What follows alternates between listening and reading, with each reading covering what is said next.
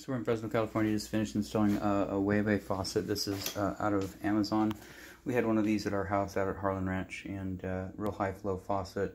Nice quality single uh, mounting nut and uh, of course high arc spray or whatnot. Anyway, so this is the uh, the website, you know, the Weeby faucet.com. There's the model number, the X0014 PLW7L. And um, so straight out of Amazon, they're, they're about 75 bucks for the faucet, 75, 80, I can't remember. But uh, we were going to set this uh, for another homeowner today and they canceled. And uh, so these are our neighbors, we're right down the street from them. Uh, their faucet had given up, it's here in multiple pieces. The spray hose was leaking. Um, and we see the spray hose leaking and the spray head had stopped functioning correctly. So that's the old one all in the sink there. Anyway, so uh, it's installed. We run, run lots of water down the sink. Of course, we didn't work on the drain, so that's not part of our scope of work. But you can see that's a nice high flow. And of course, the spray.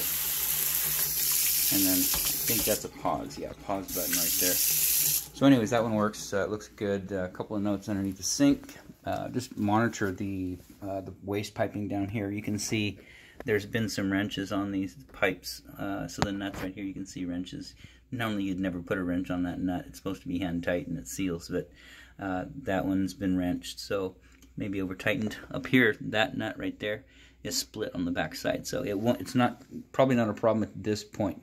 If you get a sewer block uh, out somewhere and it backs up into the sink, you might lose some water through that nut. So just be mindful of the plumbing. Also, you can see around the basket strainer, there's uh, some corrosion going on. Looks like water may be getting through. So just monitor it. You know, if the putty is sealing up top, the putty is sealing, and down here the rubber gasket's doing its job, then it's fine. But, uh, you know, you got water damage down here from the leaking faucet. The whole bottom of that cabinet looks like it has mold on it, needs to be replaced. Uh, so just monitor those areas too as far as drainage piping, make sure it's not leaking. You can see that nut's been hammered. I mean, someone's had a wrench on that just uh, over and over and over and over again. So you don't need wrenches on there on those. Those are all finger finger tight. But uh, anyways, monitor the sewer line. We don't see any leaking from it. That's obvious to us. You know, we would see water dripping off the trap if something was a problem, or off the tail piece or these nuts. But we don't see anything. The faucet's in good shape. Outside of that, this installation is done. Oui, oui.